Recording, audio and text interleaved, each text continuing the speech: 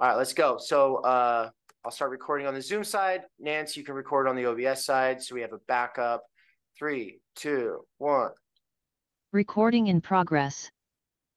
All right, welcome everybody to Theory Underground. I am your host, David McKerracher, and today we have a co-host, Nance, is in the house, and we are joined by Daniel Tutt, a returning guest of the channel and someone who we were just collaborating with both on tour and in the Underground Theory volume. Welcome back. How are you doing, Daniel?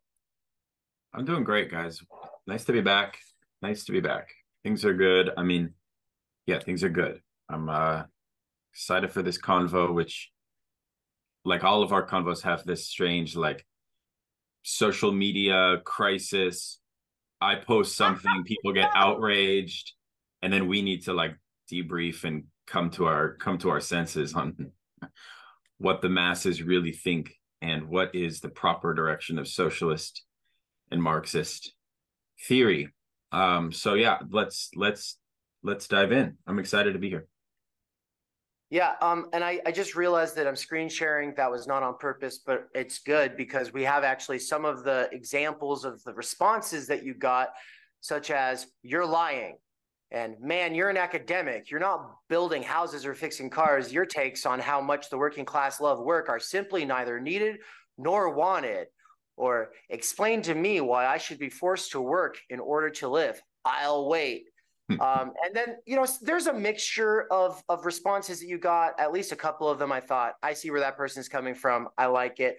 But I guess I'll stop sharing that right now and just say that what I wanted to open with is saying that, uh, I'm proud to say I did not see any of this transpiring until after the fact because I wasn't on Twitter or X at the time. Uh, it was thanks to my buddy in Ontario, who we also visited, visited on tour, Eamon, aka the Swoletariat. He sent me the screen cap of your initial tweet, which was um, saying that Andre Gorz is the farewell to the working class is symptomatic of one of the shortfalls or shortcomings of the new left, and that being that it became anti work. Um, and I think you might have said something else in that tweet. But do you want to kind of explain a little bit about uh, what you said, what provoked it, and maybe say some of your own thoughts about some of the whiplash, and then we'll kind of um, get into it. Yeah, I'd love to. So Andre Gorz is an interesting kind of um, theorist that comes about. He was just background for listeners here. Um, he was kind of like a, a new left philosopher. Um, you know, he he was deeply embedded in French um, leftism. Uh, so you know, strains of Jean Paul Sartre are deeply uh, influential on him. Um, he is uh, coming from a position that I think has been prophetic. Prophetic for both describing the scenario in which neoliberalism and the left in the era of neoliberalism, and by that I just simply mean like the the grand structural changes to the economy from the 1970s to the present Gorz emerges as a somewhat of a prophetic figure for the left. He emerges at a time in which we have the rise of Francois Mitterrand in France. And this is a huge moment in the sense that the Communist Party in France basically is is is gone from the parliamentary system. Its power is basically is basically liquidated. Um, in that context, the philosophical milieu of French leftism coming out of 68 thought, May 68 thought, was anti institutional, was anti workerist, was highly critical of Marxism, for which they, in many cases, like with Foucault, uh, with Jacques Donzelot, with Gorz, uh, with many other thinkers, they were actually putting forward an argument that things like universal basic income need to be advocated. They're putting forward an argument of what they called revolutionary reformism, okay, which is assaulting the the the foundation of the welfare state as we know it.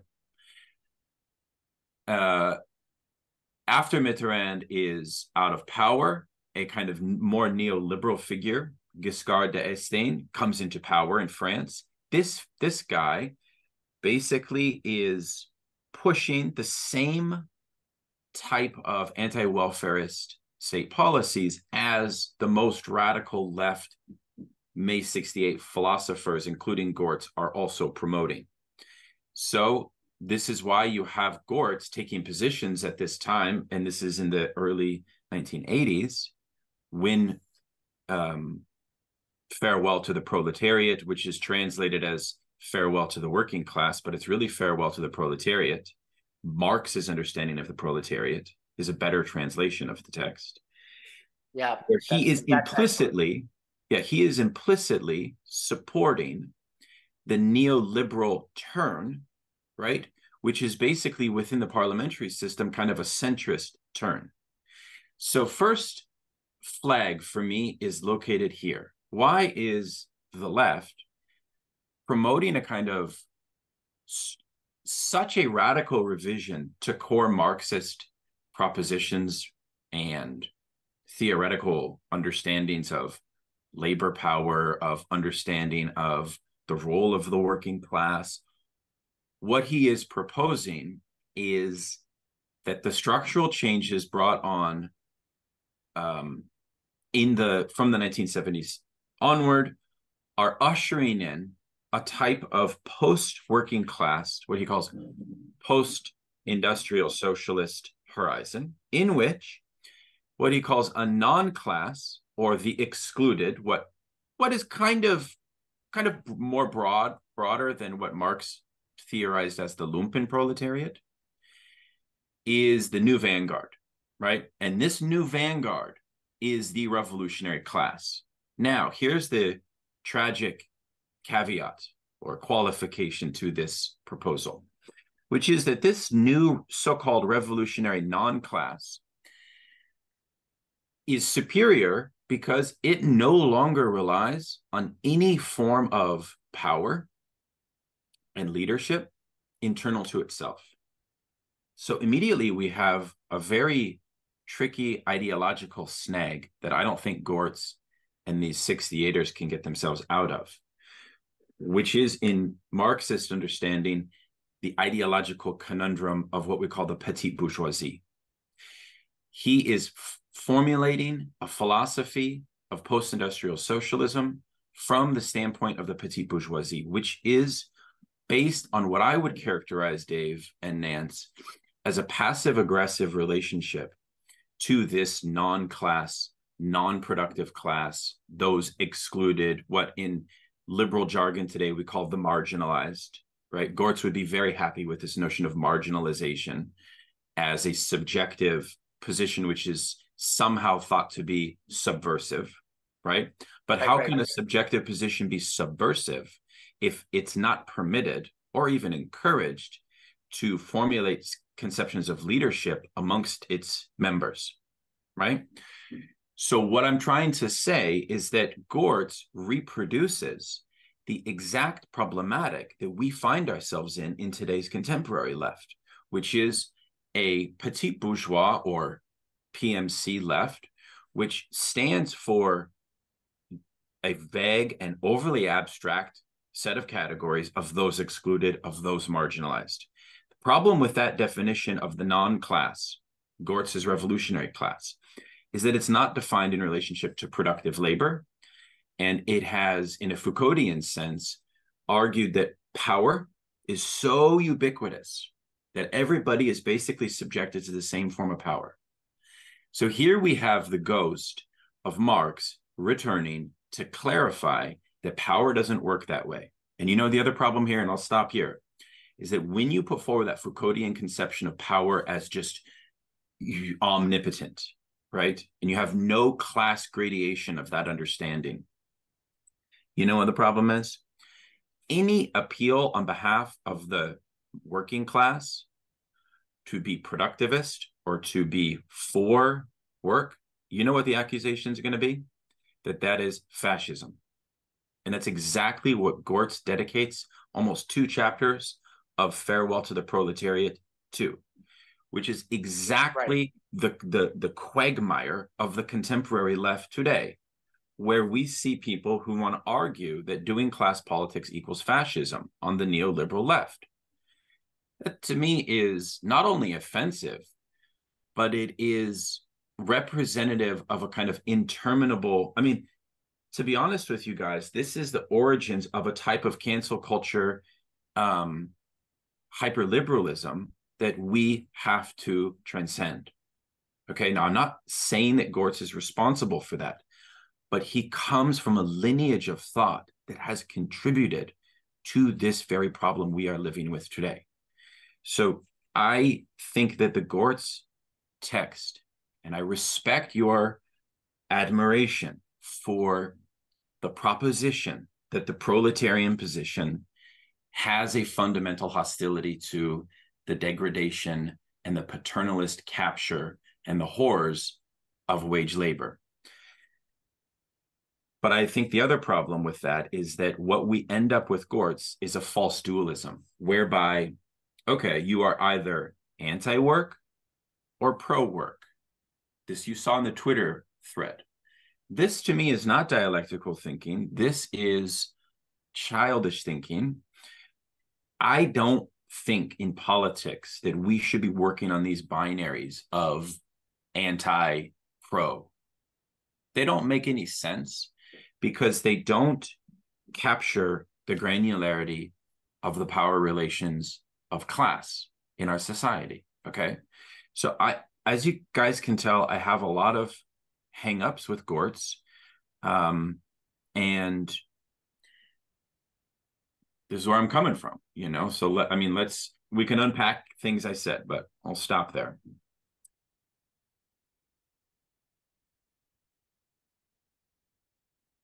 So that's a lot. I have never liked the new left um, in its influence on contemporary politics as I've understood its influence on contemporary politics. But in the last couple of years, I've become a lot more interested um, in some of these new left thinkers, or at least these people who get called new left thinkers, because in, in a sort of sense, they are just post left thinkers, meaning that they are post old left, right? And so they're, they're getting lumped in with the new left, but it's like uh, if you're not a part of Students for a Democratic Society, um, and if you you're not signing off on its program, and you're not trying to speak to it and organize it, and you're then then getting lumped up with it seems problematic to me because the situation when I think of the new left in the United States and the things that it kind of assumed and the ways that it burned bridges with the working class, I don't see those as being, um, well, I can't really put that on Gorz, right? And okay, and I, I want to say uh, a couple of things. Uh, first of all, am I pronounce? I'm not. I'm not pronouncing it right. Is it because what? What language is his name in, and how are you pronouncing it? It's Gortz. Yeah, it's yeah. No, you. I think you're you're right. Gortz. Is it Gors or is it Gortz? Gortz. I think it's Gortz. Gortz. Yeah. yeah. Gortz. Okay. Good to know. Good to know. So, um, the, I, you know, I, I think anybody should be able to admire aspects of the new left, the fight for civil rights, the anti-war thing, but at the same time, the abandonment of the working class and of uh, even thinking that soldiers have a place in winning in the future is the fault of the new left from where I stand. I mean, the, the it's like the left, the new left didn't even think about soldiers. It just was anti-war, which is fair because it was the Vietnam War.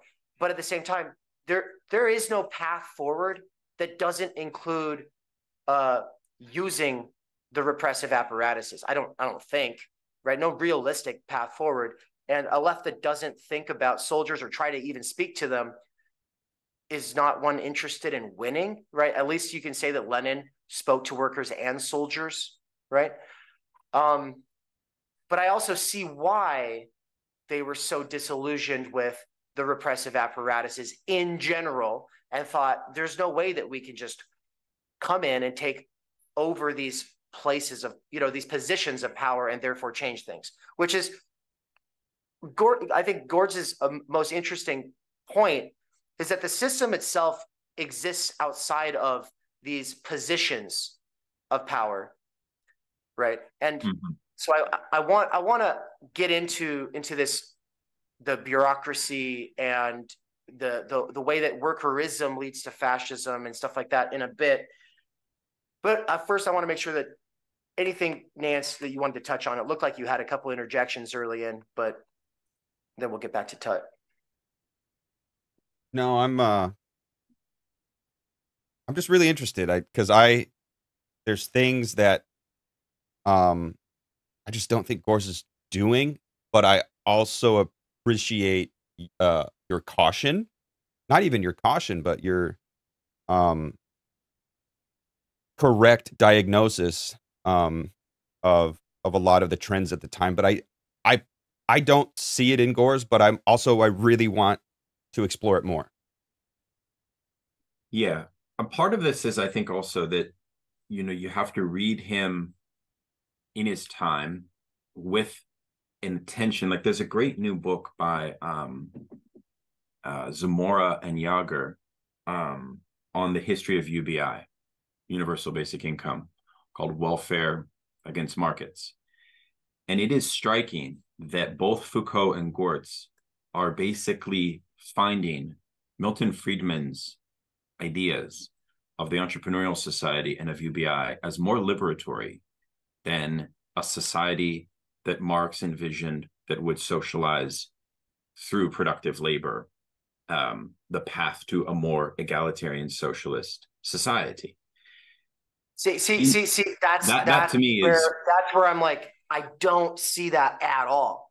But keep going. I mean, no, but this, yeah, yes, I know. no, no, no. What I, what this, yeah. I'm pointing, I'm pointing to something, Dave, which is how Gorz beyond the text ends up because I think it's always important that we situate thinkers in this way where we actually situate them within the political matrices of their time.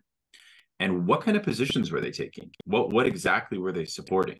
Like those those things actually retroactively mean something to the text, to the theory itself. And I think in this case, it definitely does. Because the other thing, what he's talking about here is taking a kind of he, he's very big on this notion of taking the kind of withering of the state, this Marxist idea, which is frankly a pretty vague idea.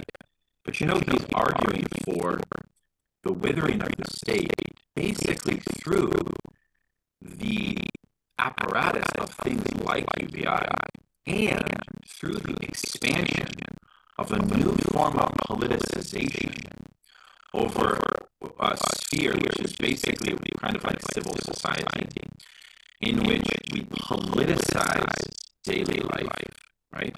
This is a very, very left conception, the revolution of everyday life, that whole idea. He's explicitly against that. No, actually, no, actually, he, no, no, no, no, no, no. Again, he's moving away from productive labor and political economy as a site that is most fecund or most vulnerable for political revolution. He's saying that's not going to happen there. He's saying that um, the structural changes economy no longer, because he says that Marx's traditional conception of a proletariat relied on skilled craftsmen and labor to basically make a détente partnership with, with true proletarians who have like, like no future and are completely discarded from the labor process. He says that that détente this over, and, and that the most revolutionary class now are that old proletariats, which, which can be summarized through the end of the Communist Manifesto as we are nothing, make us all. We are nothing, make us all. The, the status of their ontological predicament of capitalism. And he was, by the way, hugely inspired by the Black Panthers. because the Black Panthers were saying something similar. Mm-hmm. But you see, there's a very crazy historical sort of transpositioning that takes place, whereby those who advocated a lumpen proletarian centric conception of revolution, which I would characterize Gorz as doing, as well as the Panthers, they, they couldn't see that the transition to what neoliberalism actually brought about in a material sense and ended up making them side with a libertarian form of neoliberalism. So what I'm trying to say is that neoliberalism, in its libertarian, um, anti-statist, and anti-welfare statist thrust, you see these left radicals and ended up becoming, and this is very paradoxical, but they became the kind of prophets of exactly the horror that our current society is now structured upon. They didn't intend for that to happen, but this is like how the dialectic of history works, right? This is also why, like, we have to situate people politically. Like, it matters, especially theoreticians. So, so uh, those things I think are um, I mean, kind of what I'm talking about here also is the big debate on Foucault and neoliberalism, right? And and frankly, what I'm also raising is um, the evacuation of a, uh, of the centrality of a focus on political economy within 68 thought, right? And the new left, right? There's something deeply inadequate about that, right? There is there was an embrace of a kind of anti-working class sentiment, which argued, revolutionary reformism argued, that the working class had already been absorbed into bourgeoisie, and Marx's proposal of a primary schism between two classes, bourgeoisie and proletariat, is no longer happening. And Andre Gorz is part of this. He's part of that. In other words, part of the problem of the new left was the idea that the Marxist Marxist proletariat as a revolutionary class, which Lenin had the idea that the proletariat is defined by their complete domination under capitalism. Gorz argues that that domination is no longer total. It's no longer total, and it has been absorbed. So you have kind of like a hybrid bourgeois proletarian fused into one. But the practical consequence of that fusion is that basically revolution now is basically like bourgeois in some sense. So we we lose all class legibility. And I think this actually means also for for today that if we if we if we lean on a Gorzian framework of thinking about class, class power, etc. I mean, for him, I don't really think that he would see any problem with a kind of with the PMC. I think that Gorz would probably say that your guys's um, strong critique of PMC ideology, okay, is a non-starter because part of what Gorz is also talking about is that ideological power no longer matters, right? Because the class schism is no longer central. Read his chapter on power, right? This acephalic idea of power, non centralized power power is everywhere, this kind of Foucauldian idea. It's and I can read some passages from it later if you'd like to really elucidate it. But mm-hmm. I think this is a where theory meets practice and where we find a deeply symptomatic and problematic conception of power take place. It's a kind of post class understanding. And the truth is, our contemporary moment is riddled with the return of class. Problem is, is that we're relying on old philosophical models to face those realities that are inadequate. And I, I think that Gorz, Gorz has a lot of inadequacy. I mean, I don't want to bash him totally because I do think that Farewell to the Working Class is a a well-structured manifesto. You know, he starts off with whatever 12 points. I went through each of the 12 points and I either said these are haven't been proven historically or they are founded off of conditions historical conditions which completely no longer apply to our present. So which is exactly what he does to standard traditional worldview Marxism in the I think it's actually I think it's actually not even it is that, but I'm also talking about specific um misjudgments about the way that the neoliberal system used 68 philosophy of libertarian freedom into a new regime of austerity. He, he had nothing to say about the new disciplinary society that neolib- neoliberalism gave birth to by the 1990s, where all of that, all of the return of class became concretized. He couldn't see that. He literally couldn't see it. I would be fascinated to sit down with him now and see. I mean, but part of the problem is is that you know there's a generational issue with the new left, where even Jacobin magazine a year ago was celebrating Gorz as a prophet of anti-work. But those critiques only go so far for me because we need to ser- seriously ask ourselves, and I want to hear what you think.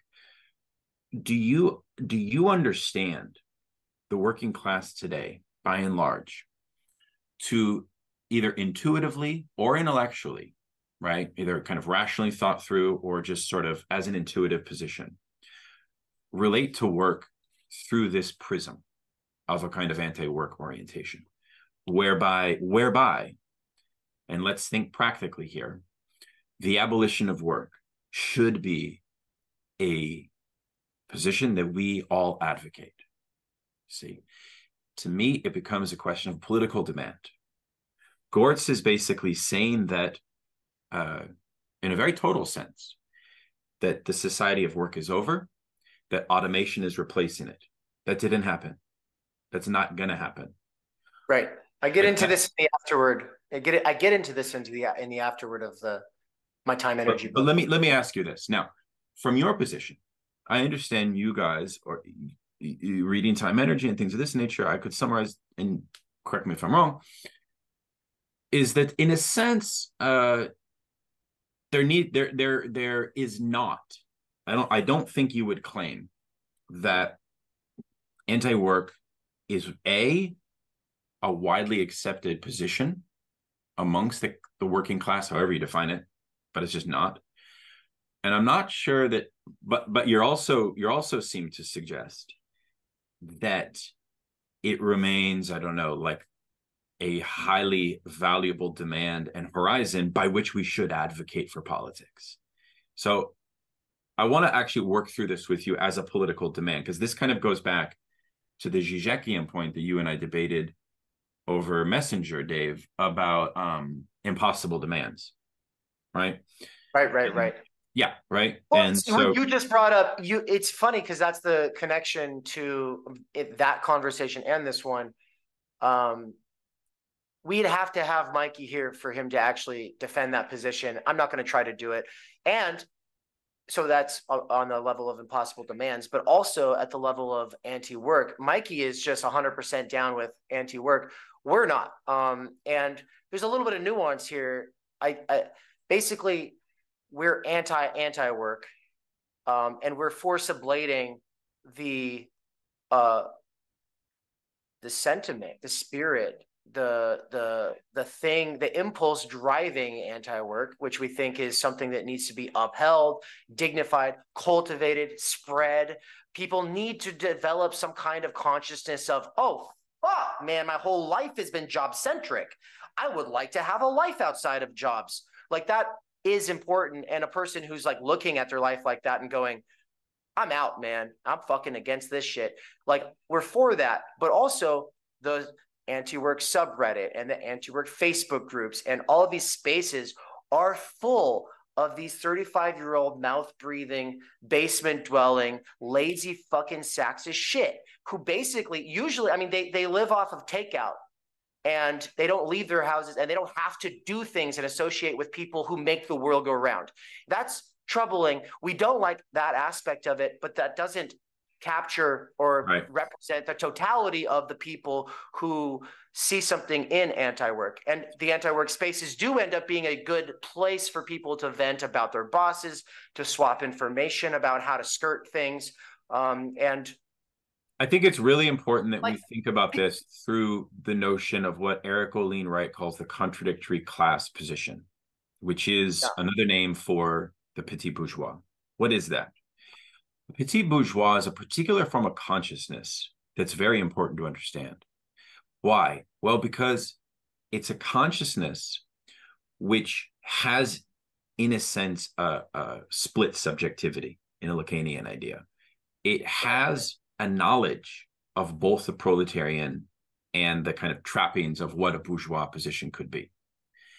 Now, some have argued that this position has dominated the idea of political demands on the left. In this stretching back, I mean, it, this is a question of historical periodization. Somebody like Christopher Lasch saw these emerge in bohemian leftism that emerged um, because you see one of the things that's very important as a side point the petit bourgeois a position had in um, the netherlands um, partially inspired by Gorz and this anti-institutional mantra came to power.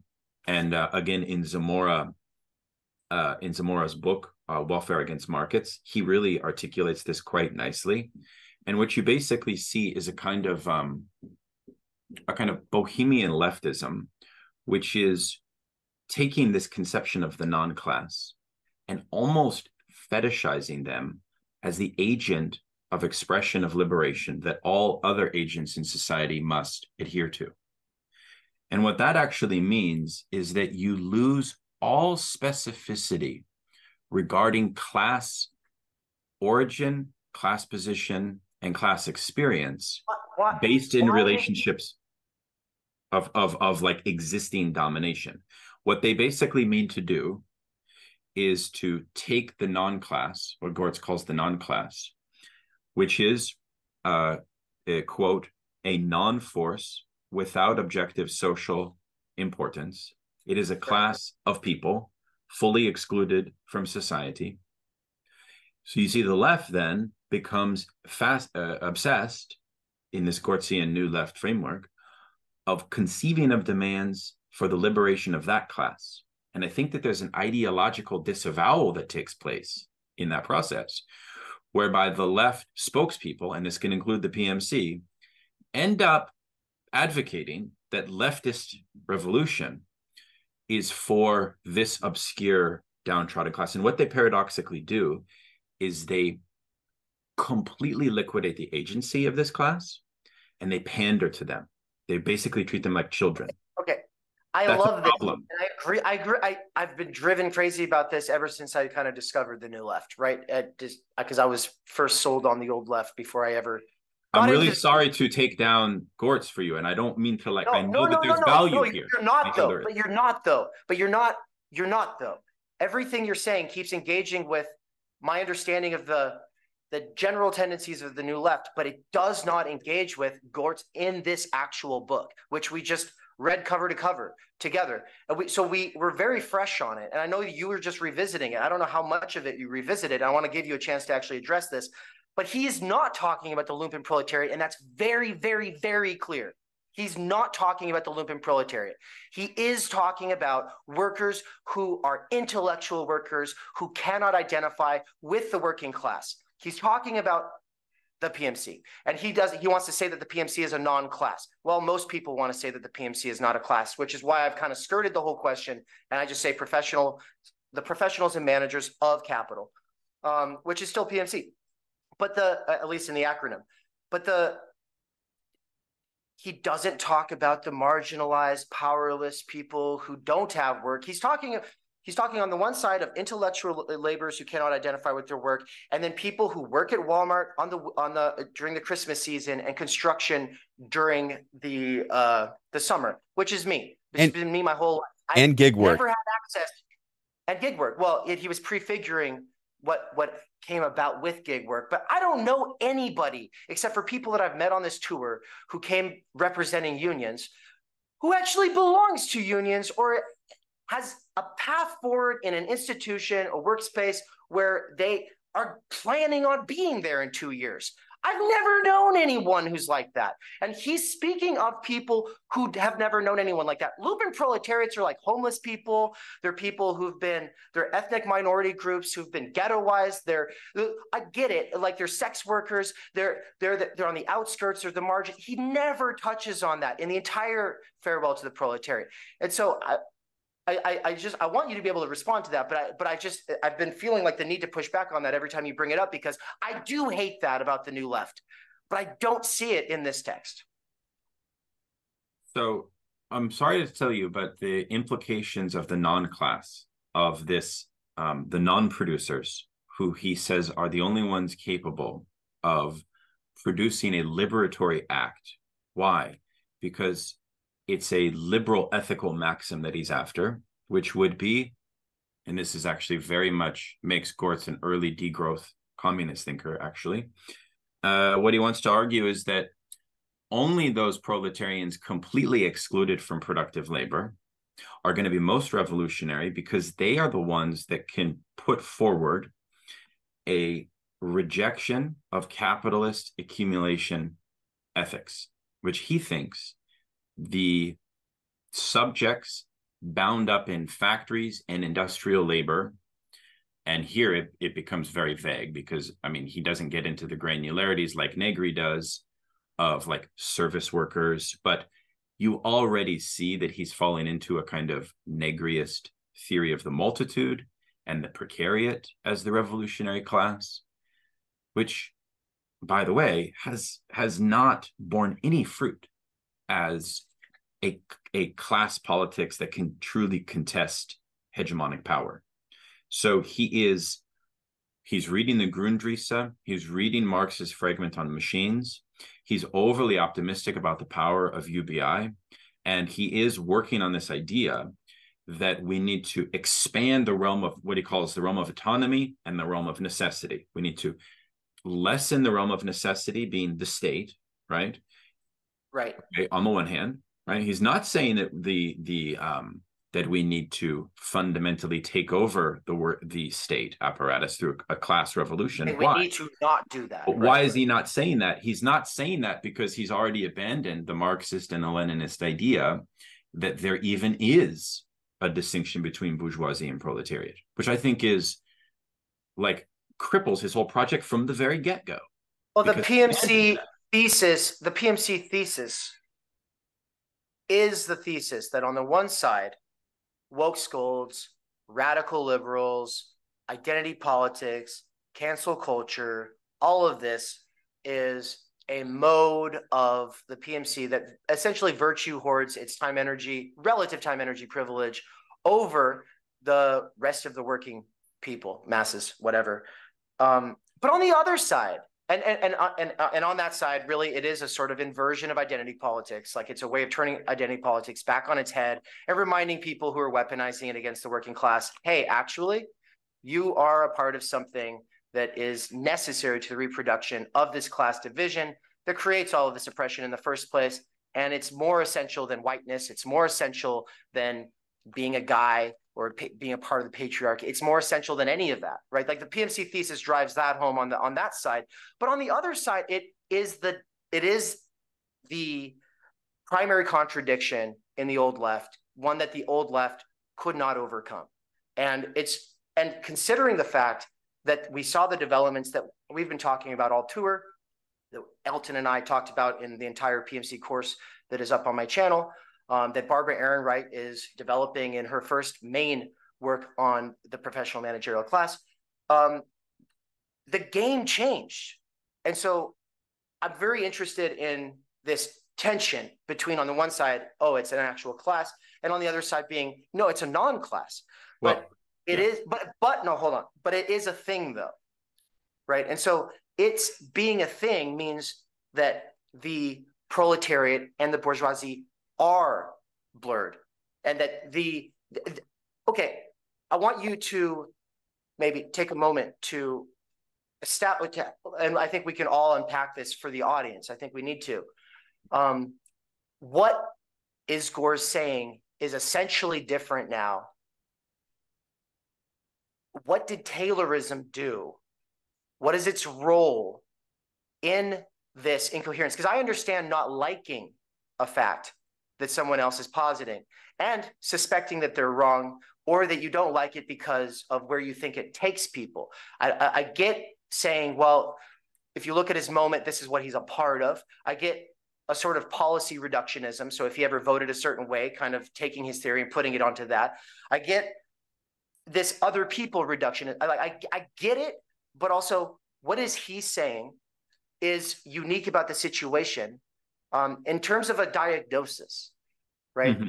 Um, so because I get not liking that he makes these class divides blurry or or indistinguishable, but why are they indistinguishable according to Gorz? Okay. And I think so, I, I, do want Nan, I do want Nance to be able to touch on that question himself as well. So sure, Nance, if you want to jump in, please feel free to do so. Yeah, I, I think um do think it is undeniable that the the mode of production has has changed things and um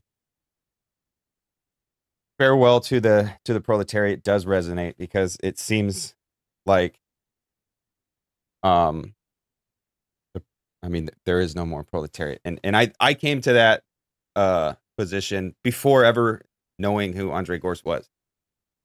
Um we are so so instrumentalized and so fungible and so and i guess that kind of is the point of the proletariat in the first place um but it really has turned us all into just non-thinking like machinic parts. And there are there's such a huge reserve army of labor that like there there is no constancy there's no consistency like people are constantly moving from gig to gig to gig. Um there's this pmc that themselves have been de-skilled and so they're all just kind of running on autopilot. Um yeah yeah. Does that uh, make sense? uh, does that yeah. Uh, do you do you think that is enough for the audience to understand what what is motivating Gorz's uh disillusionment in the the thesis of the dictatorship of the sure. proletariat. Well, that's not we can we can address the his response to the disillusion of the dictatorship of the proletariat, which was something that was widely held after the intervention of Nikos Poulantzas, um, the the Greek uh, uh, Marxist who tried to, like a lot of 68 philosophers, completely radically revise core Marxist tenets, which I think was problematic. But for Gorz, the age of scientific Taylorism is um, reaching a conclusion, according to him, for Marxism's possibility of centering the agency of the subjects that are most proximal to the factory process. And he argues that it was skilled workers and downwardly mobile proletarians that formed the partnership, the unity that was the backbone of what traditional Marxism saw as the process of revolutionary seizure of the state. Okay.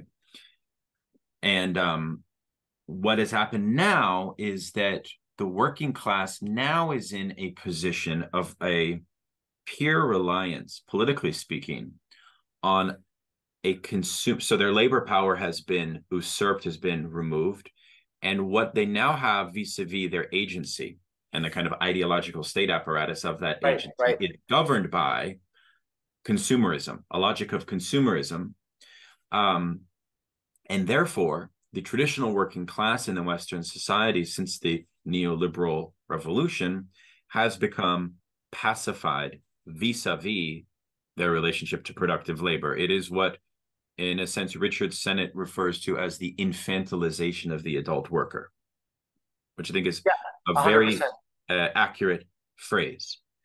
Now, okay, those are processes which are real, which we can all see before our very eyes.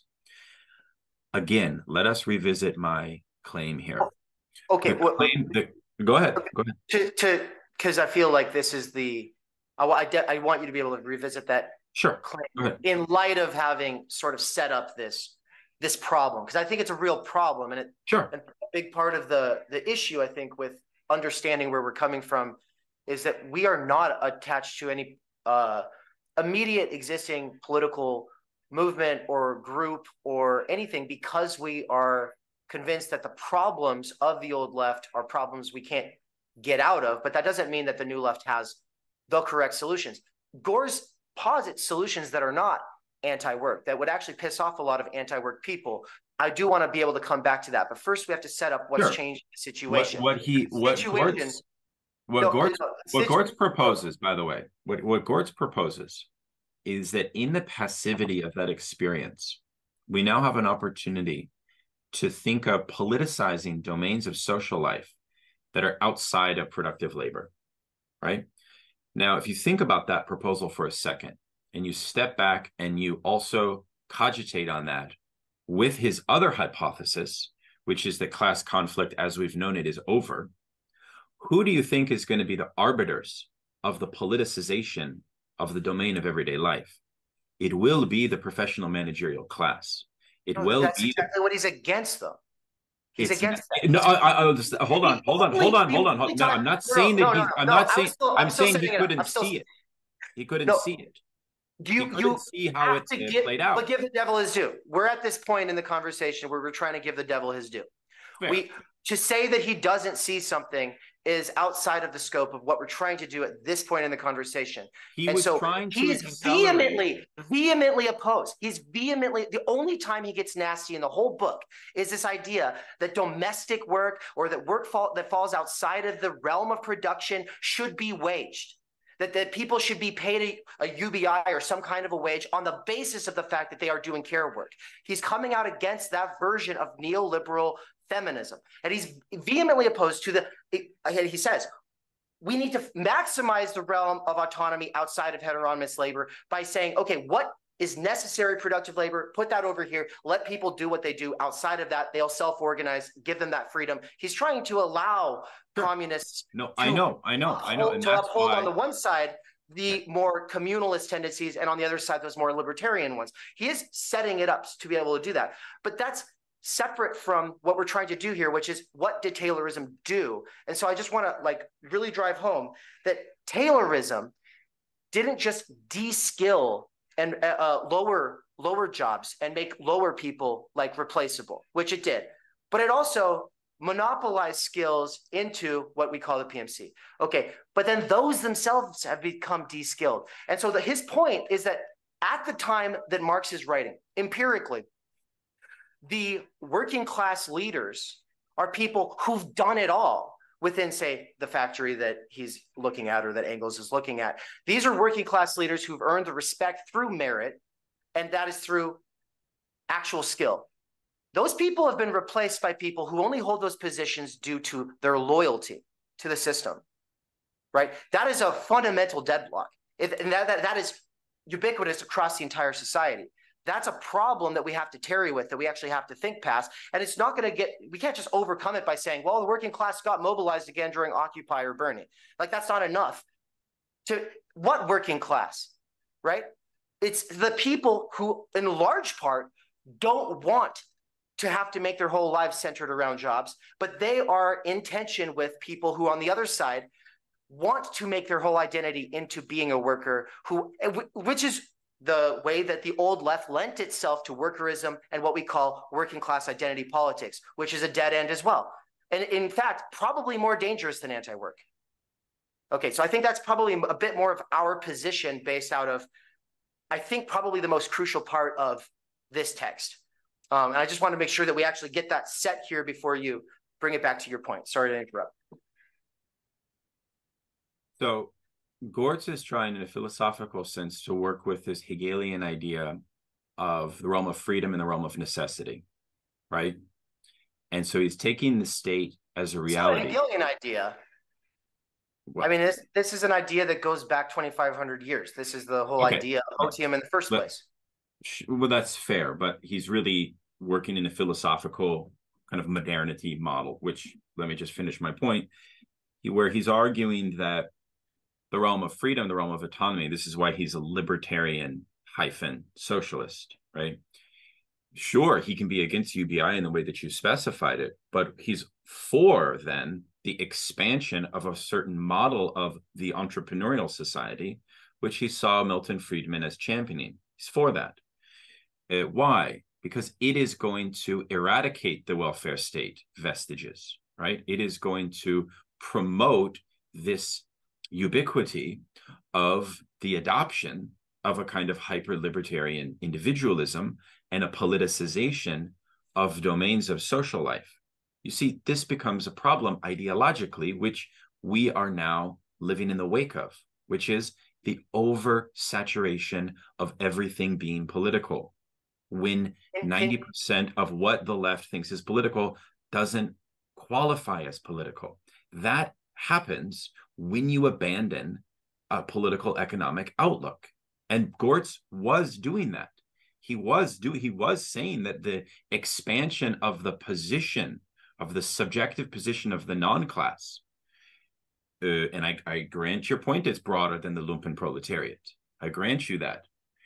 Uh, but he says this must be the model by which we ad- adhere our whole praxis, right? We need to expand it. You see, the immediate problem there is that, okay, we see the rise of a new bureaucracy in neoliberalism and the deskilling of that bureaucracy and the internal class fractures of that new bureaucracy, what we call the PMC, while at the same time holding on to a conception of the realm of freedom and in its advancements through this vague conception of the liberated subject of the non-class right? Or what we say like the marginalized. So it's it's a hyper liberal theory of subjectivity which is problematic because it doesn't allow us actually to contest power whatsoever. If we were to uh, bring back a more marxist centric model and apply it to some of Gorz's shortcomings and again, I'm I'm with you that Gorz is a nuanced and worth reading thinker. I'm not trying to discard him or anything like that. I'm just saying he was duped by the ruse of history. Okay, yeah, I think he was, and that's okay. every Marxist, I mean, every Marxist has been duped by the ruse of sure, history. Well, well uh, that's not fair. Ah. We, can, we, can, talk about that in a moment because if you take that, then you fall into a kind of um, you risk falling into an anti-intellectual pessimism in which no. I'm there. I'm there. We're there. Guilty well, as charged. Okay. Let's not let's not fall down that point yet. Just stay stay with fair me enough, for a enough. moment. Okay. Fair enough. Uh uh what we have is the trappings here of a conception of the politicization of uh, of freedom vis-a-vis an entrepreneurial society and the expansion of local alternative economies, which is founded on a premise of a anti so it's accepting that capitalism has politicized for the everyday worker and i mean here by like elections right? Like or i mean like um the framework by which we are permitted to see social antagonisms is structured through consumer logics right? That's the primary sort of glue of the ideological state apparatuses that allow us to see social reality. I think that Marx's point is slightly different than that, which is that socialist education needs to equip people with seeing a different line of how the power functions and operates. Okay. And I think that Gorz is basically too accepting of this idea and basically creating individual liberated libertarian subjects who revolt, but revolt without solidarity because he has kneecapped the idea of leadership. It's this very kind of Nietzschean Foucauldian idea that all, you know, any kind of aspiration to a leader, he even says that um, he makes a, a, a really vulgar homology between like state socialism and Nazism. Like, go back and read what he talks yeah, yeah, about. Yeah, oh, it's terrible. This whole thing on the fear, oh, where he says like any working class leader, any working class Dude, leader that no, would try no, to organize the class is like the Fuhrer. That's That's nonsense. And that is exactly what too many think on the left today. Too many think this. That's why when you say, yeah, my politics is class first, we have now the legacy of the new left, and not just Gorz, but a whole lineage of this is why ideas matter. I'm not an idealist, but they matter. We now have this kind of um, intuition that is embedded into leftists to think that class politics fundamentally risks fascism, blah, blah, blah, blah, blah. This to me is a disaster. And you must agree with me that it's a disaster. Do you not? I do not agree that the homology between Stalin and Hitler is a disaster or a terrible injustice or that it's like that totalitarianism. I didn't say Stalin. I said state socialism, or, which could also include like Engelsian Marxism. Yeah. That is well, disastrous. He's that. Yeah, go ahead. He so I think that's a more important and nuanced point that I would like to get into. But right now, I want to take it back to this welfare state thing um, and say that he, okay, so the only similarity between Gorz and, say, Friedman or someone else who is more of a right wing UBI guy is that he does see that welfare is demeaning. But, but for someone like Friedman, it's a win because you can gut the welfare state and then you can just give everybody a check and then so it's a, it's a way of dismantling welfare state. For Gorz though, he's very very opposed to the it's not free money. I it's it, so he's opposed to the idea that it's free money. Um, it's and it's not just oh because you know more like Thomas Paine, the idea that you know we're all a part of this earth and then we were born into it after the you know division of property. And so we, we deserve something back in exchange for the fact that we're born into this place already divided up. So we deserve something. Or it's it's not even like this idea that oh we're all harvesting data for the machine and so we all deserve something back for that. All of those are interesting ideas. Or something to those ideas. But what he is advocating for is just not UBI. And when I was, uh, I admit to not having read the book yet about um, welfare and markets, the Jäger book. Uh, I did read an article about it. Nothing in it resembles anything he's talking about, though. And so uh, maybe the book itself is is is a bit better in its in its critique of Gorz. But the issue at stake is that he's saying, no, you work twenty two thousand hours for your society. You get paid a living wage to have a dignified life based on that amount, meaning that that would work for gig people. That would work for gig people. That doesn't doesn't mean anything to somebody who's been an electrician his whole life and is happy being an electrician.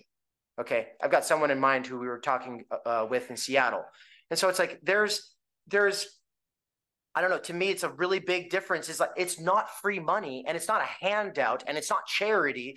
Whereas it is for some left thinkers, some right thinkers, and it's not a way of replacing the welfare state. It's a get rid of all of that, take out the job nature of work.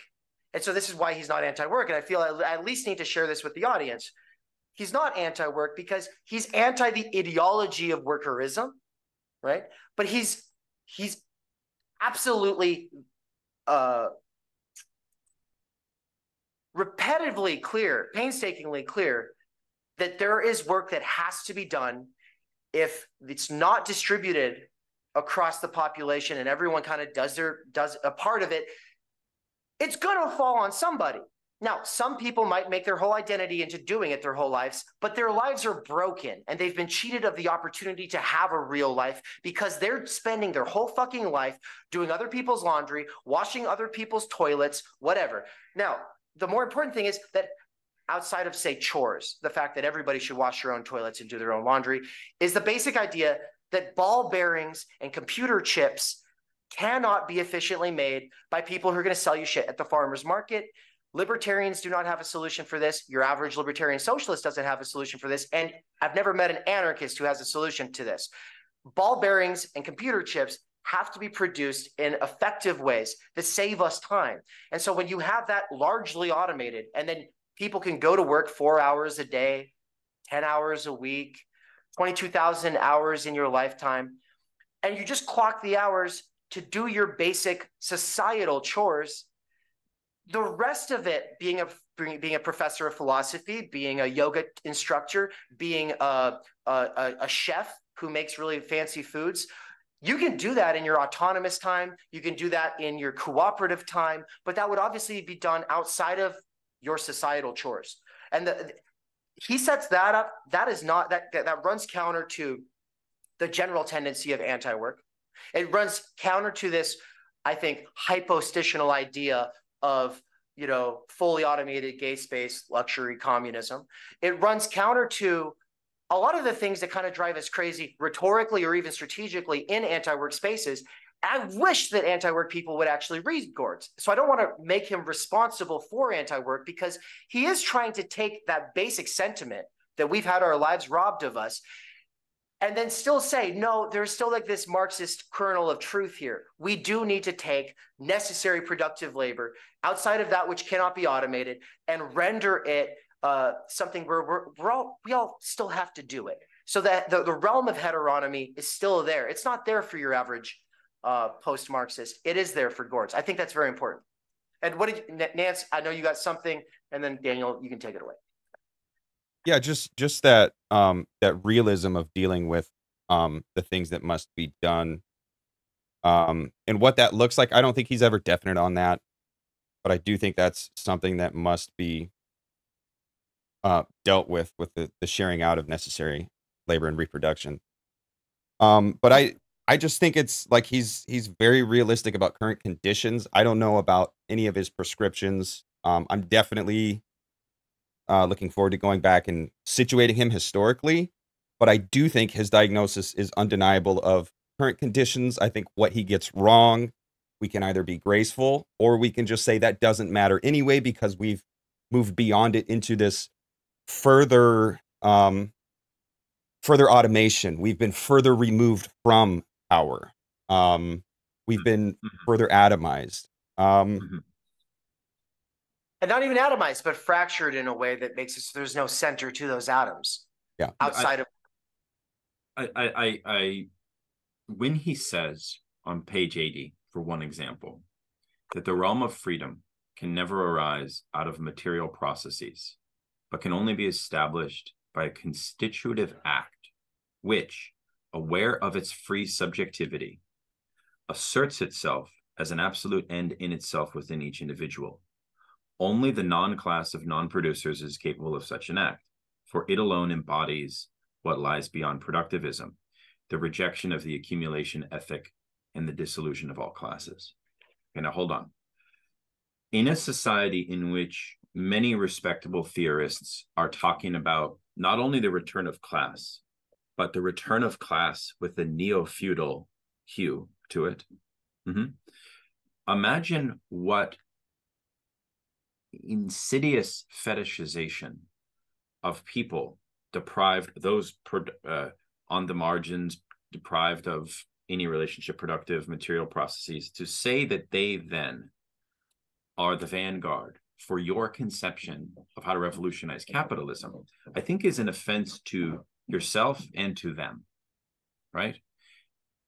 On the one hand. On the other hand, the complete refusal of solidarity at the site of production under the notion that it would repeat the fascisms of the past is another assault on not only on Marxism, but on the working class as it is. Okay. So, this to me is an example of a sentiment which is from a milieu that was dealing with antagonisms of the capitalist system, which have now, which in hindsight had serious blind spots. What would Gorz say to the neo feudal thesis? I don't think that his model would work. Okay. And the other thing I want to say here is that uh, the other thing I want to say here is that we have a tradition in Marxism for the introduction of consciousness to the working class, both the working class that is split between different relations to the gener- generation of surplus value, by the way, strategically, there is a um, higher value for contesting capitalism when you forge uh, solidarity with particular stratums of the proletarian class which is has the most proximity to the generation of surplus value which is what is afforded that surplus is afforded by the fact that the labor of those proletarians is a commodity. Therefore, the Marxist proposal is for the abolition of that particular form of work qua commodification. In Gorz's notion of his anti-materialist, anti-productivist notion completely, I don't see how that class of workers, and we can talk about what percentage they are today and so on and so forth, but I don't see how that class could have an emancipation and i don't and when he forecloses solidarity between the non-class and that traditional proletarian i think that's a very catastrophic mistake which marx and engels never wanted to do. Marx and engels did not want to just say this rigid uh, industrial class are the most important because of their strategic proximity to labor power. They're also thinking about how to create solidarity with they're going to privilege certain agencies, but they're going to also think the procedure of the seizure of power vis-a-vis the organization of the working class. And I think that what we've had take place is such a profound anomie, alienation in general, on behalf of people like us that come from working class backgrounds. And you can call this through the kind of um, uh, you know professionalization of certain and and even the fact that working class people are structurally excluded from living lives of dignity. Because you know as a side point i want to say this uh, go study uh, jacques rancière's books on the proletariat of the 19th century and ask what did he discover were the core of the proletarian demands? It may sound like liberal but it's actually not because the core of their demands were for leading lives of dignity and receiving recognition which was barred to them in bourgeois society right? Right. And of course he studies he studies actually in a very interesting way for you. Uh, i think rancière you, should, you guys should do some episodes on jacques rancière because you know what he studies? He studies worker intellectuals. He has a book yeah, called yeah. proletarian nights which is a study right. worker intellectuals what were they writing at night with in their off time? What were they studying? What were they thinking about? What were their dreams? And lo and behold, we do find an anti work position for sure. But we find a position of a dream of work beyond exploitation and a recognition that existing work can never be anything but exploitation. So there's a recognition of that impossibility. That's the proletarian mm, position. And that's the proletarian position. The proletarian position is not the petit bourgeois position in this case. The petit bourgeois position would be like, ah, well, we can we can reform, and I can be in charge of the reforms because I know what it's like. It's this kind of paternalist thing, right? It's this PMC thing.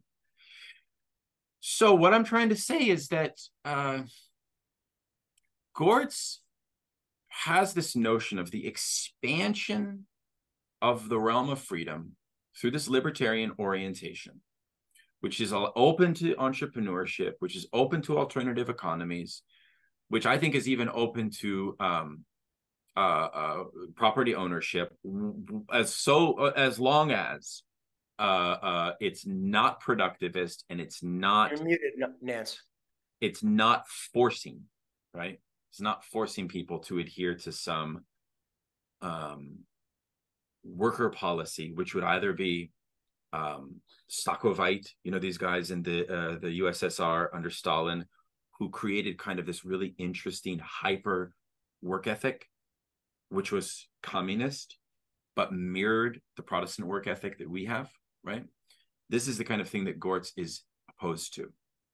He's very opposed to this my position, guys, is that by witnessing what happened in the Bernie Sanders campaign, my position is that socialist politics in and now here i'm being like super strategic and like non-theoretical let's say uh must face the reality not of uh a ubiquity of workerist ideology but rather must find a way to integrate the reality that the loss of dignity the infantilization of the adult worker okay is the loss of not, is not the loss of dignity and the infantilization of the adult worker is not going to lead all of those adult workers into a petty bourgeois bohemian thing of like let's live on a commune and not be consumerist. That's not what it's going to do.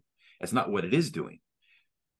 So how do we realistically work with existing demands because you guys run the risk of being just as naive uh, uh, by suggesting oh well that you know everyone can kind of adhere to this kind of um that then becomes a disciplinary device in some sense i'm trying to think What becomes a disciplinary devi- device? what becomes a disciplinary device is this austerity logic of basically what we must expand as the kind of revolutionary subject for politics is this non-class position which is outside of labor completely and which basically has no aspirations for social recognition has no aspirations for leadership and just kind of wants to exist in a pure space this for Gorz is kind of like the horizon of what capitalism is producing for people.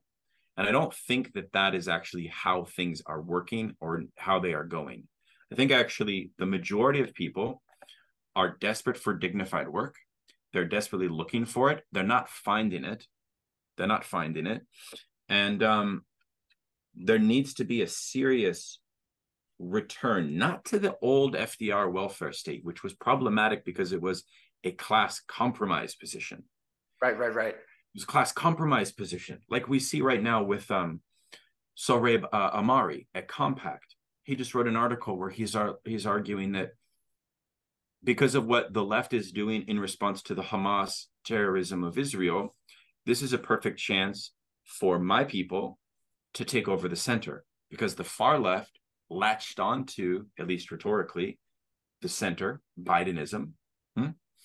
And now uh, they're revealing themselves as kind of um, sycophantic uh, kids that are kind of um, in some fantasy world of far leftism. But look at his alternative. Is is is Ahmari's alternative at all in line with something that will expand the realm of freedom for for the vast majority of the working class? I don't think that it will. I don't think that it will. Uh, so I don't know. I mean, I, am not saying that I have a solution, but I'm, Oh, I'm skeptical I- of both. I'm skeptical of both positions. I'll just stop there. I'm I'm I'm in the weeds. If it wasn't your fault, I, I'm lost. So I get Sohrab Ahmari is controversial. I get that you don't see that he has a solution. I get that he's basically blaming the infantilized or the the childish like left, the infantile left. What we were just on something else. That was an example. What was what was your point again before you brought that in? What My point is that Gorz contributed to a thinking, a political subjectivity in general, from a position which is is totally liquidated the agency of the working class as as we live it and face it today because of the reasons I've already cited. Uh, Yeah. The the the trepidation around leadership, the trepidation around uh, representation, the trepidation around solidarity, uh, the insistence that uh, political change will not happen within. Well, when you say that, then you basically have given carte blanche power for the continuation of hyper finance capitalism to just kind of wreak and continue to wreak its havoc. And what Yeah. you end up with is a kind of liberal ethics, which still accepts that, okay, consumer ideology is kind of what the horizon of possibility is. The best we can ask for is kind of like a small home and recycle and kind of do our best. But we don't want to make any appeals to collective power because that's just going to make us fascists, right? And class is dead, uh, power is everywhere. The be- it's it's very uh, ascetic, it's saintly, it's utopian socialism. In an article that I've recently written, I argue that 68 philosophy is a utopian socialist philosophy. And I think it's problematic for that reason. Because cool. it doesn't it doesn't want to deal with the hard question of actually contesting state power and building so, working class solidarity. Thank you. Yeah, Nance, what you got there? I uh I really do appreciate your your critique. Um and it's I mean you're definitely raising points that I agree with that I haven't I guess made the connection to. Um but I I keep going back to um I really agree with Gorz on on some things that he's saying as a diagnosis of, of current conditions or of his time contemporary conditions. I do feel like um we need to come up with a, a, a new way to to see collective power. Um I really like his focus on um like the tools of conviviality. I I, I love that. Um I I think he's doing something interesting with with moral choice where he's trying to give us some agency back when it comes to to our own personal morality and and um i think he's realistic about the fact that we can't see ourselves in our work because our quote unquote productive work is already non-productive so i i like he he is kind of um can't I don't know I, I can't think what I was trying to say, but the the fact that we're in factories producing Hannah Montana bubblehead bobbleheads for all of right. our lives, we're doing that 60 right. hours a day. There is no dignity in that. So we right. we do need to find a new way to take back dignity for ourselves. Um yeah, what do you what right that's right. That's right. That, that that's the thing I was gonna bring up too, and I want you to elaborate on it, Nance is that productivism as an ideology is masking the fact that most of what we consider productive is not actually productive, which means that if the working class were to go from in itself to for itself, sees the means, what you're going to have is a bunch of people who identify with the necessity of these non productive things and think of it as productive and then think of themselves as fucking uh, saints for maintaining what is essentially exploitative, wasteful bullshit, not just Hannah Montana bobbleheads. And so, it, it, but of course, that's part of it. He's not saying get rid of ball bearings and computer chips.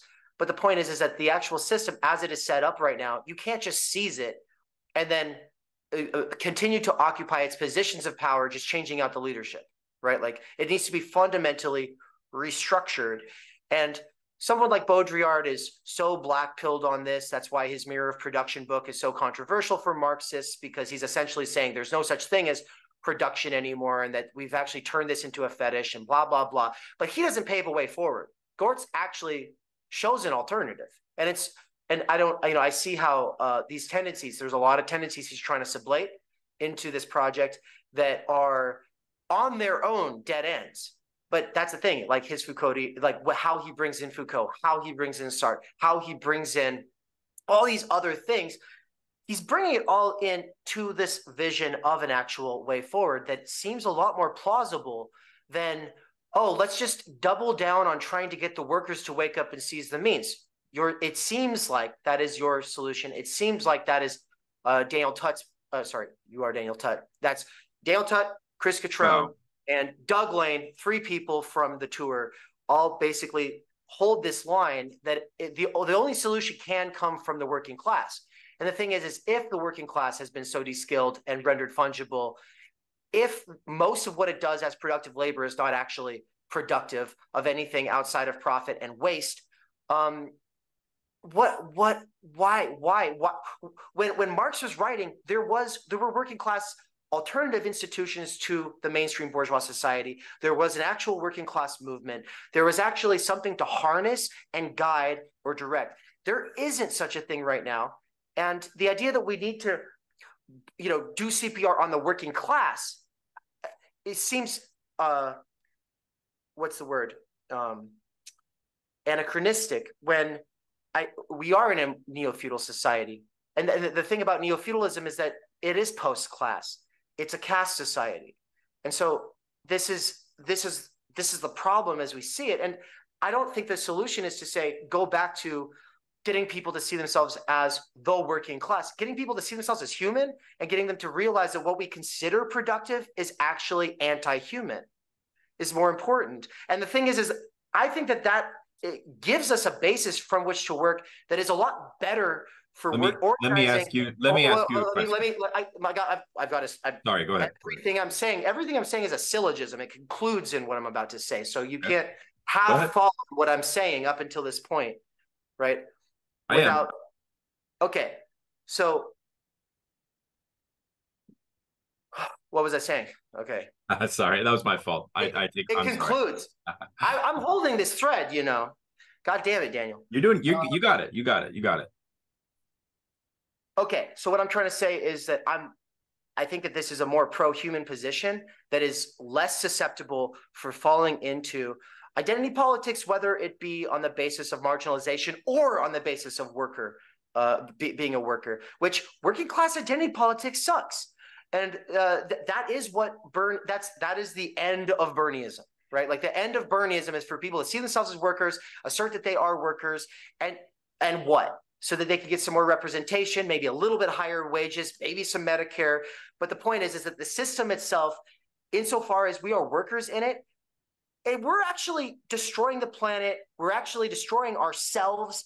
Our identities as workers are really like the the empirical results of our own uh, destitution, right? Like there's nothing noble about this kind of production. The system itself has to be dismantled in some way. And there has to be some kind of an alternative to it. Seizing it doesn't get us out of that situation. And that's the part one of the barriers the old left ran into. Yeah. My main question to you is how will the reign of of capitalist necessary domination over the working class, which let's put to the side this notion of the feudal thesis, because that whole structure of the neo feudal thesis is basically an argument around the collapse of social mobility. So it's basically right, yeah, right. we it's it's basically yeah, we accept the Marxist proposal of a great schism between two classes, but now it's gotten so onerous. But why? Well, part of the reason that it's gotten so onerous is because we have no uh, form of politics that contests power vis-a-vis standing for working class interests. Because again, Gorz is arguing that from the standpoint of collective interests, and so first of all, whether you accept the neo-feudal thesis or the classical Marxist thesis on class, you must confess or admit at least that we have emerged within capitalist society a class who must sell their labor as a wage as a commodity which is at the nexus of the generation of a surplus value, which now in this post May 68 arrangement is no longer, according to these philosophers, uh, that process. Uh, well, the power of that collective agency uh, is neither here nor there for determining collective human freedom. So you've abandoned yourself by saying that. You've abandoned yourself and you've abandoned um, the prospect of thinking about politics through identifications with that class of dispossessed people for whom you were born into, for whom you still are a part of. So, why would you do that? And when you do that, then you are going to think about freedom and appeals to freedom with the PMC problem because I feel that Dave, the PMC problem now is staring you back in your face because what you've articulated is basically congruent with what the PMC also thinks about freedom. They're also for uh, Which is this, what- liber- this libertarian uh, austerity thing of punishing individuals for climate change, punishing individuals for their speech, da da da da da. I don't. hold- You, you still have a bureaucratic class which is going to formulate a theory of social freedom that will be disciplinary. How do you get rid of that? The only way to get rid of that is through the organization, both culturally, ideologically, politically, of a working class interest from that cohort of people I just mentioned before that can advocate for their interests. It's not going to reproduce fascism. It is not boring. It is not antiquated. It is, I think, the ABCs of politics. We just haven't lived it in our life.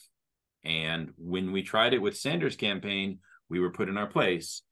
But that doesn't mean we shouldn't try it again and again and again, like the whole Beckett fail again, fail better. So that's my view because you can take and supplant your whole philosophy and it will realize itself better if you orientate it around a collective working class interest, in my opinion. If you don't, you will become sway to the very thing that you despise, which is basically what we have today. That's my that's what I would say. So the working class is not the proletariat. The proletariat is something very specific. Saying that the proletariat is not the revolutionary subject does not mean that the working class is not the revolutionary subject. The working class can be understood as being constituted by this contradiction that is on the one side people who can to some degree get pride from their work and feel ownership of their work but feel like they're not getting uh, enough control and ownership, and therefore they can, you know, they want it, that, as opposed to those who can't identify with it, cannot uh, see a, a, a future worth living wherein they continue to do that kind of work. Um, and now, now, this working class in itself, the issue is how it becomes for itself. Now, I don't know how Gorz uh, would take this, but I'm just saying, as far as like where we stand, I think after um, going over this yesterday, and we do have to go over it again now in light of our conversation with you.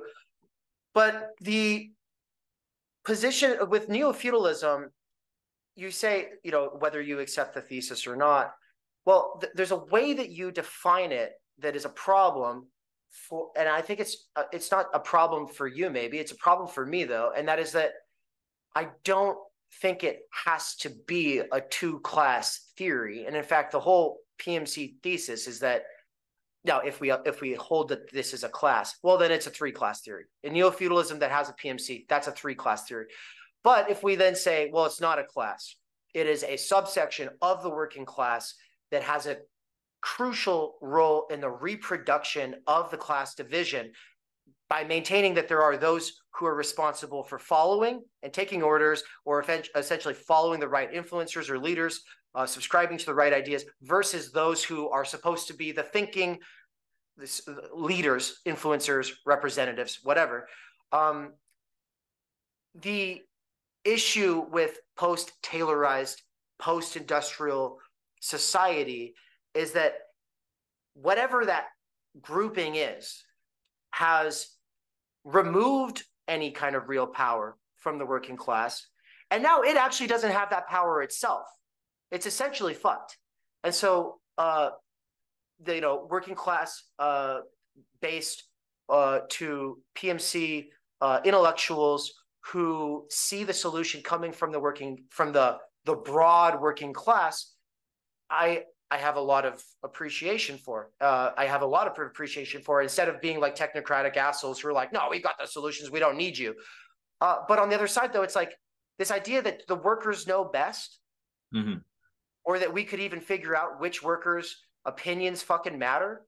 Like I, Well, that that actually comes from that actually comes from certain strains in part of Maoism, which argued that this and as well as even Lukácsian Marxism, which we got to be careful when we incorporate it because if you incorporate this notion, and what I mean specifically is the social epistemology, which would argue that there's a different form of knowledge that is produced by virtue of one's exploitation. by virtue of the experience of oppression, that that knowledge is knowledge for politics, right? Now, you can take that in different ways. Standpoint epistemology thing, right? You can sure, exactly. You can take that in a liberal way, which would have a kind of overly ontologized conception that almost falls into a strange, I don't know, quasi social Darwinist late 19th century form of racism, unbeknownst to itself, in which, well, if we think power beyond product the sphere of production, okay, well, then you can quite easily see how these young post-colonial, decolonial grad students at the Ivy Leagues today will cancel people like they canceled my friend for teaching Sigmund Freud because Sigmund Freud is a white European patriarch, patriarchal figure, right? The Gallants That, had to this me- kind of shit happen too, yeah. Okay. So you see, you see, but wait a second, wait a second. Gorz was advocating for, you see, politics is about ideology, ideology as well. Like there is an outside to ideology against Zizek, in my view, in the sense that politics is about politicizing domains of social life. Okay. That's that's a choice. That that's that's a form of organization and education that's that's the enlightenment like marx had this debate with Wilhelm Weitling this working class socialist who argued that the working class needs no education he was like a vulgar standpoint epistemologist this is before Right, right, right, right. you know this you know this story you know this story No, no, no. But I'm saying I'm, I'm I'm agreeing that this is like one of the noxious tendencies of workerism. So Well, that yeah, well, because you see, um, Blanquism had the view uh, since French Revolution, the far left expression of Jacobinism had the view that the knowledge of exploitation does not require any discursive elaboration. Marx was opposed to that. Right. That's why people say Marx was on the side of enlightenment, because he said actually no workers still do need education.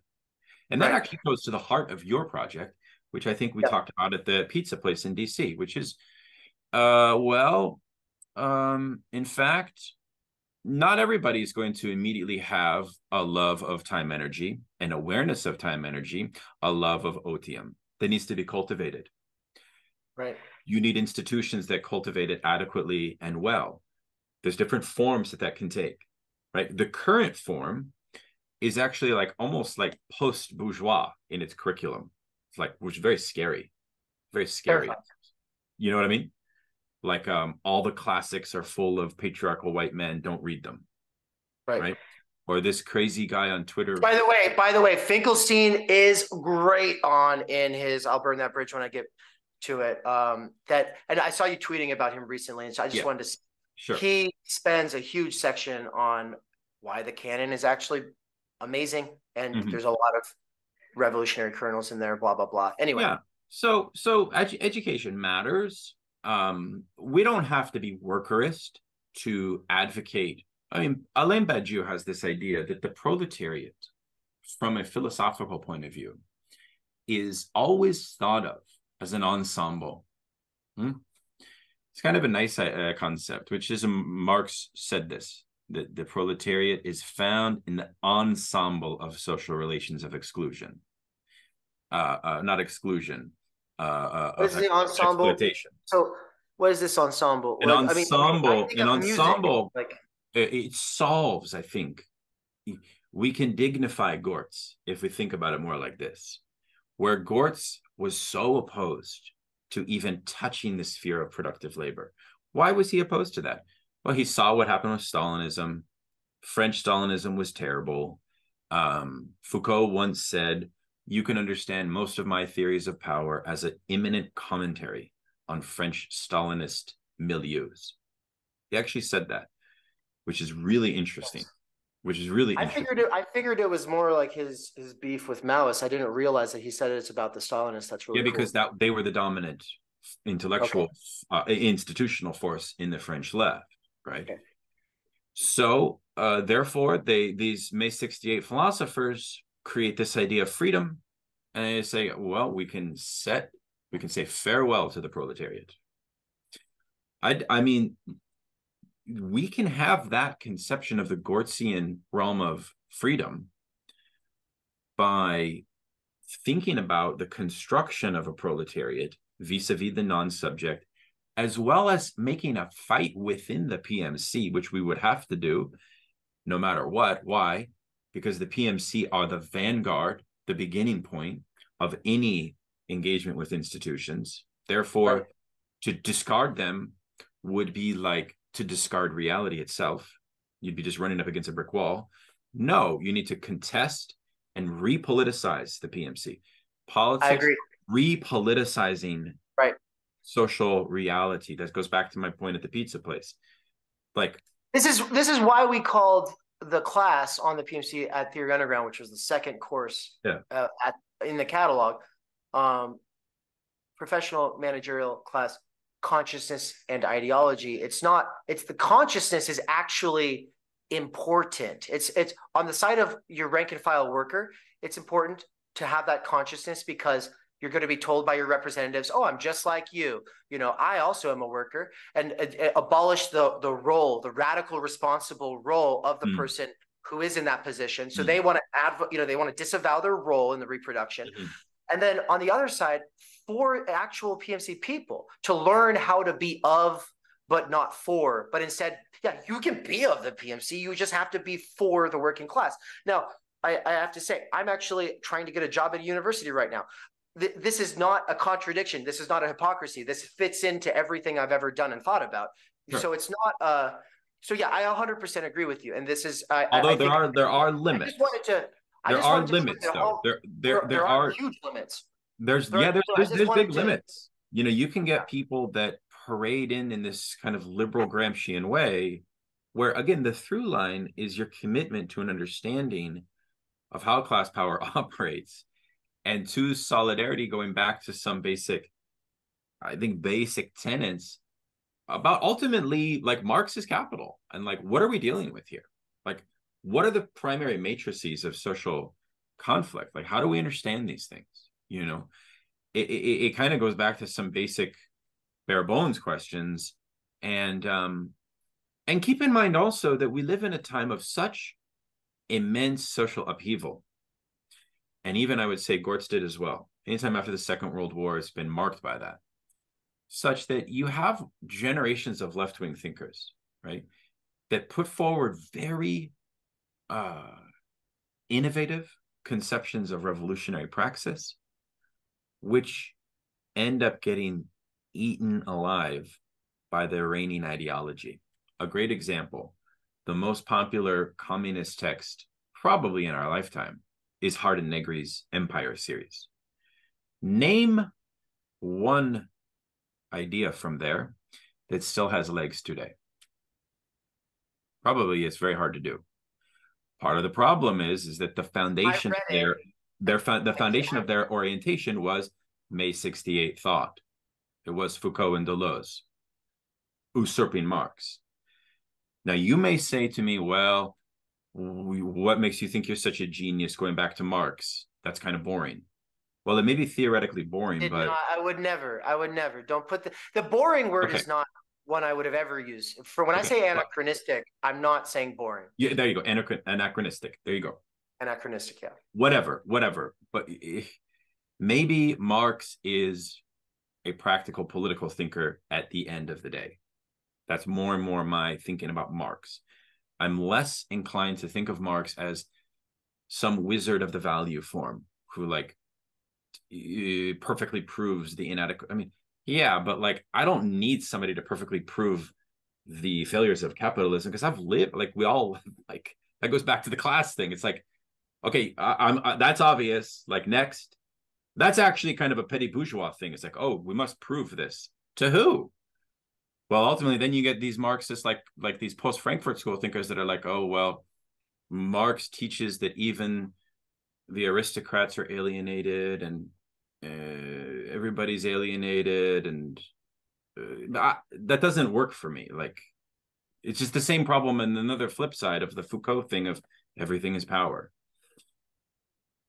You know what I mean? you just lose so much when you get that you that that it becomes quasi religious I, I, our, our only way that we uphold Marx here is to say that we have to do what he did, um, which is very different from saying uh, copy and paste his ideas onto our moment. And so, like, what I take to be the thing that he did is taking all of the uh, bourgeois insights, the knowledge, the the the the theory uh, that gives uh, you uh, uh, an outlook on the current situation that is going over the head of your rank and file activists, and then sublate those into a new theory.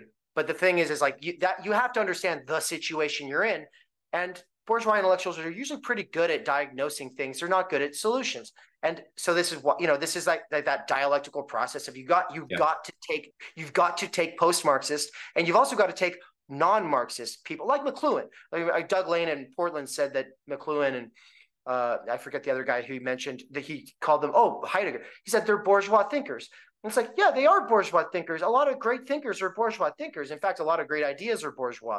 The point is, is to take that back into, sublate it back into something that gives us a new edge on the current situation. And the, the, point with the point with McLuhan and this is how I agree with we both. I know I'm speaking for Nance, but we we just talked about this last week. The critique of Hardt and Negri. Um, and I have there's two parts of this. One is a story about Zizek and and when I met him the first time, and then the other is like our actual critique of Hardt and Negri. So I had the book Empire with me because I was reading it for the first time back in like 2016, and we were at this uh, this conference in uh, Athens, Georgia, and um, I had him sign a copy of the Sublime Object of Ideology, and then I was like, "Oh, could you also give me like a one sentence critique of Hardt and Negri's Empire?" And so he he did, and he wrote, "Multitude is fascist." I disagree, actually. I mean, in part, I see that that, is, that would go well with that Gorz position that you don't like. I get that. But the position that we have is actually this more Baudrillardian one, which says McLuhan thought we were moving towards a global village. Actually, it's the global fractured uh, shards of what we're people, and that you know that's this whole oh we're consumer ident- identities, we're not actual people anymore, and so this uh, this is where you take where Baudrillard takes the medium as the message, and he turns that into the mass era or the mass hmm. age mm. is the message, the mass age. But when he says mass, he doesn't mean multitude. He means the exact opposite of multitude mm. which is to say, it's not a mass of people who can be integrated into something, that can mm. be organized into something. It's inherently a byproduct of the mm. media, the medium itself, unintegratable. And so, of course, that should be, I think, for us then the situation that we have to try to understand and find some way of overcoming. And right. then and then a lot of the Marxist organizations think that the way of overcoming that is to start a newspaper and to go hand that to people and to you know sell copies of it on the street corner or whatever. And it's like this is from an age of a different medium where there was a mass. We're absolutely mass. We're post multitude. Absolutely. Give me okay. give me one sec. I have to go to the uh, restroom. I'll be right back. Okay, and then I want Nance because I, I I I'm assuming that you can still hear us while you run there, um, Daniel.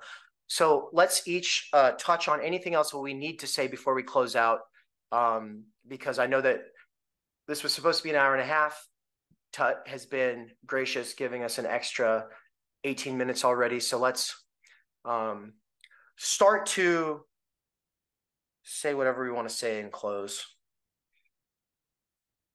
I uh, I want to incorporate all of the um criticism. I really do. But there's just some points that I that I'm not willing to give up ground on. Um, I don't think Gorz is positing that any future revolutionary will come from this non-class. I think he's diagnosing the state that we're in as a non-class, as a post-class. Now, maybe I read it wrong. Maybe I was projecting onto that because I also take the position that we already are post class. Um, right. But I, I, I don't think he's doing the thing where he's saying it necessarily will come from them. I think he's just saying, hey, this is what we all are right now. Um, similarly to how You're not saying you're not you're not saying that we're post class in the sense that there is no working class that has to sell its labor, blah blah blah. You are saying it in the possibility, the virtual possibility of it going for itself. Is that right? yes, Okay, just to clarify. Okay. Go yeah, I mean, and- I, I I agree with that. I mean, I agree that he's. I mean, I basically agree, but I think that. Well, hold on. I feel bad for interjecting Go ahead. already because he, Go ahead. he Go was ahead. Yeah, yeah. Finish your point. Sorry, No. but you got me thinking. now n- now I, I got derailed um and and i do think um yeah if if, if we can uh mitigate necessity or or uh marginalize necessity itself to free us up to our own involvements um i think that's a noble cause um and i i, I do think that that itself could lead to revolutionary i think it's a revolutionary sentiment um and again uh yeah I, I i fully accept all your criticism i do But we don't need a new revolutionary subject and we don't need an old revolutionary subject.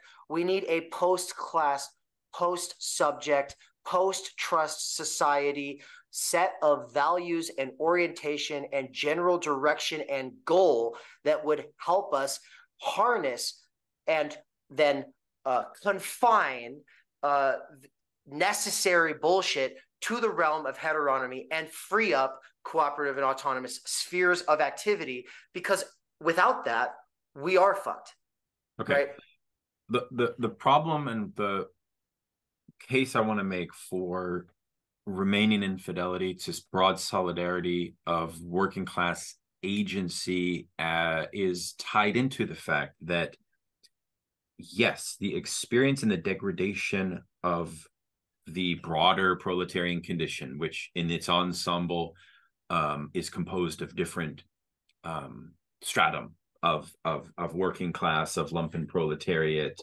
of um, even even what Badiou and Zizek call um, nomadic proletariat. So you know we should also include like displaced people, refugees.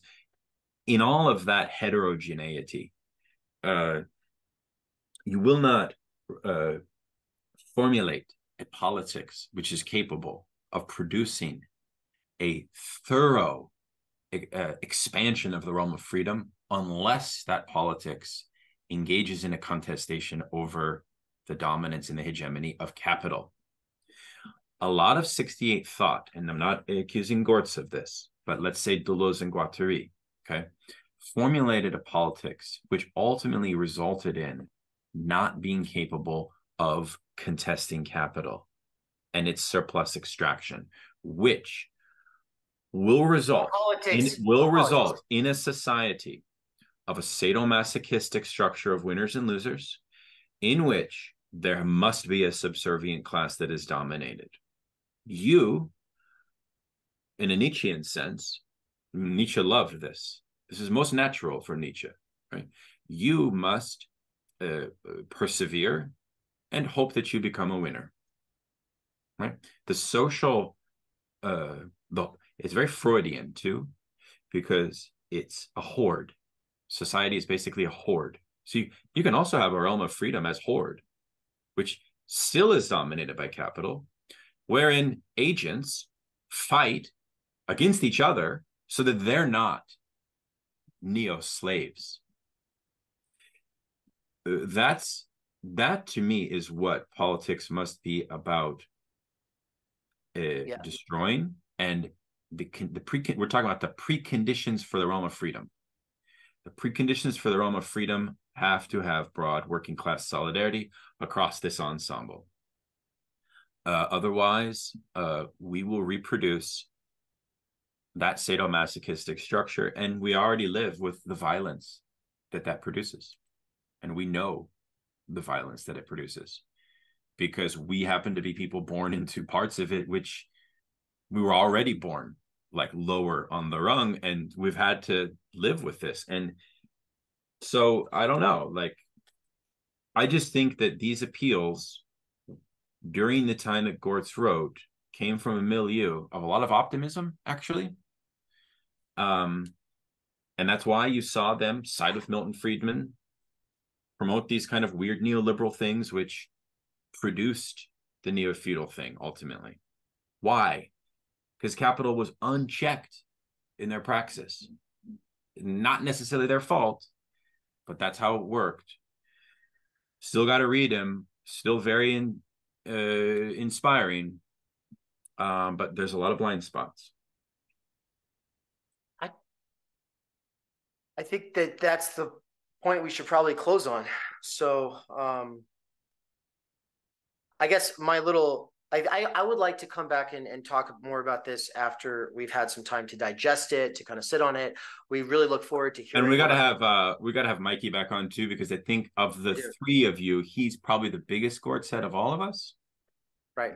Well, four it's that he hasn't he hasn't read this book, but I think he'd like it. Um, we we we need to read more Gorz. We need to understand the context he's working in. Uh, I I think he's not responsible for um how the things he's seeing um get uh, put into a politics when there is no politics that has ever existed that has posed a real problem to capital and I know, I know that's a pro. That's a, but I just don't think that there's any viable strategies on the table. That there hasn't been. Uh, there's there's been times historically where it made sense that a strategy put forward, say by Marx or Lenin, looked like it actually had a way forward.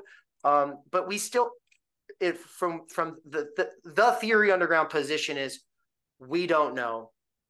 There's probably a way forward. That's why we're not completely black pilled but we do tarry with these people who are black pilled on the old left. But at the same time, we hold to certain core insights from the old left. And the most important one is the one that you were touching on, which is that we come from uh, we come from a class of people who aren't supposed to read, who aren't supposed to think, who aren't supposed to have lives outside of work, who now we're at, now we're now we're the ones asking the most important questions because we're asking questions that like are the we're asking the right questions like we're reading the right, Right. text we're asking the right fucking questions i'm not saying that we're all genius worker intellectuals or anything like that but i am i do right, think, right, right. but i do think to our credit what you're doing is why do you think people got so mad about my tweet which was just i'm excited to have an essay in this book. That's all that i said. Do you think it has Oh, anything, the do you think it Underground Theory anything to do yeah yeah exactly. Do you think it has anything to do with the fact that most avenues of intellectual inquiry can make no uh, claim on their own subversive potential? Which i think actually what you guys are doing you can make that claim. Like you are making that claim as i see it. So that's a credit to you. Um which again is not like oh so profound genius but like no you're in the No. arena asking the right questions which most intellectual life is not they're not asking the right questions. It's like they're so caught up in all of these other layers of problems that it's harder for them maybe to see clearly on things. That's how i see it at least.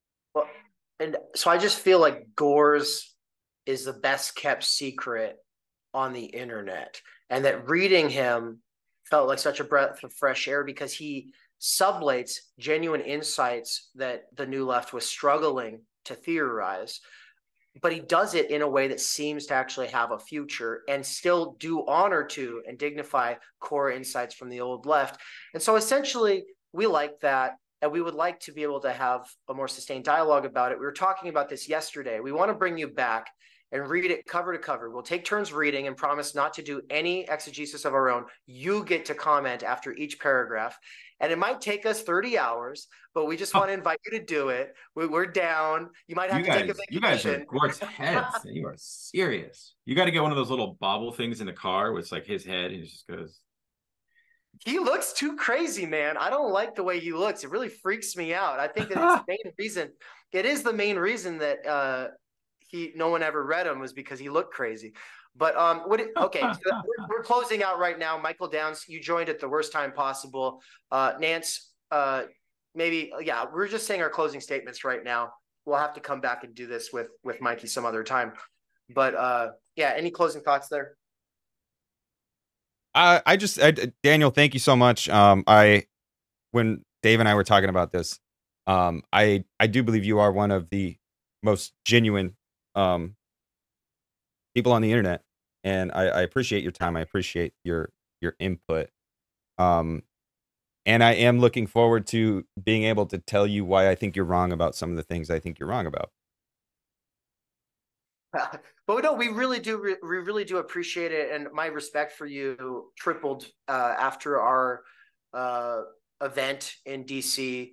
And because uh, I think that there's something that comes through in the flesh, in the meat space, that doesn't come through right. over YouTube and just seeing you do stuff. It's like, okay, whatever, man, I don't care.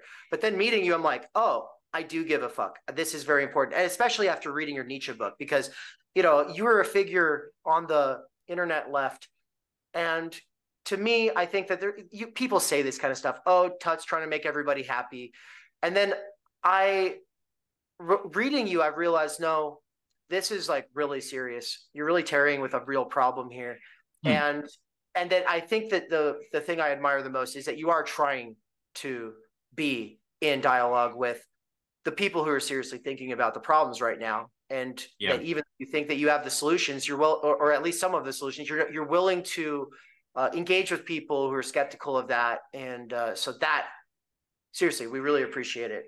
That's awesome guys. Thanks. I already gave you acolytes and props so i'm not going to do it again. We Don't do it again. Our, we, like uh, there's this professor who uh he he it's a beautiful like statement i think about like um maybe authority at the end of the day but he this kind of guy i think like he only gives compliments like once. But the rest of his compliments that he gives and that one compliment is very small but it itself because he's a very accomplished professor that i really respect so having a compliment from him was such a gratifying thing. But then you know the rest of his compliments were like tearing me tearing my ego down. That yeah. is mas- that is that is a masterful way to treat somebody that you respect like keep keep the praise very low and work on yeah so um but well, my praise was that my praise was that your heart's in the right place. I didn't sure. say that you're serious. Oh ha ha ha ha. Well yeah. we'll time will tell. Time will, time will tell, tell, gentlemen. Time will tell. It's been all right pleasure, well thank guys. you so much. Yep. yeah thank you all so right. much. All, all the best. Take, thank take, you. take care daniel. All right i'm gonna stop. Recording stop